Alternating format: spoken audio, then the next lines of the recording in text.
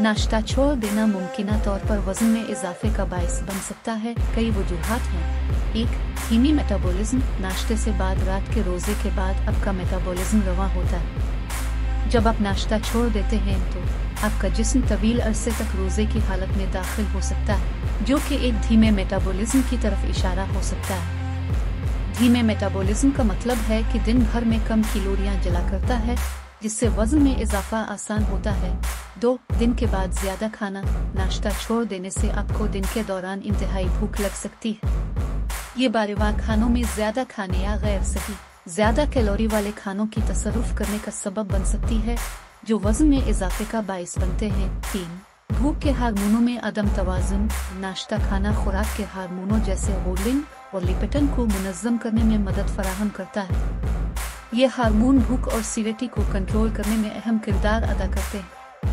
नाश्ता छोड़ देना उन हार्मोनों के तवाजुन को खराब कर सकता है, जिससे बढ़ी हुई भूख और करियों का इंतहाई हुसैन हालात का नतीजा हो सकता है, जिससे ज़्यादा खाना और ज़्यादा खाने के इश्तेहार का इम्कान बढ़ता है। चार, गैर सही खाने की तरजीहत।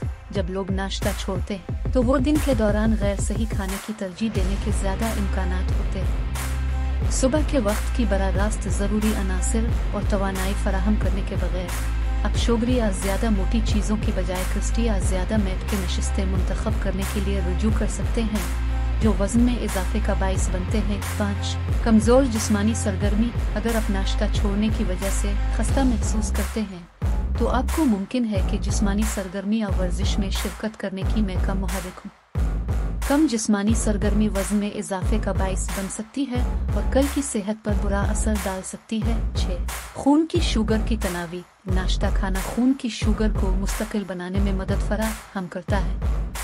जब आप नाश्ता छोड़ देते हैं तो आपकी खून की शुगर कम हो सकती है, जिससे बढ़ी हुई भूख और शुगरी गजाएँ करने की ख्वाहिशों का इम्कान बढ़ता है, जो वक्त के साथ वज़न में इजाफे का बायस बनते हैं। साथ, ज़्यादा चर्बी की जखीरा तवील अरसे तक रोज़े करना, जैसे कि नाश्ता छोड़ देना जिस्म को तोानाई महफूज करने और ज़्यादा चर्बी जखीरा करने का इशारा देने के लिए हो सकता है।